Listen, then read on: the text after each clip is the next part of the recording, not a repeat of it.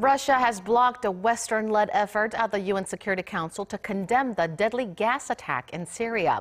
In the vote on Wednesday, Russia also blocked a demand for President Bashar al Assad to cooperate with international inquiries into the incident. It was the eighth time Moscow has shielded its ally in the face of international condemnation. Bolivia joined Russia in voting against the draft resolution spearheaded by the U.S., France, and the UK. Ten countries countries voted in favor of the text, while China, which has vetoed six resolutions on Syria since the civil war began, abstained.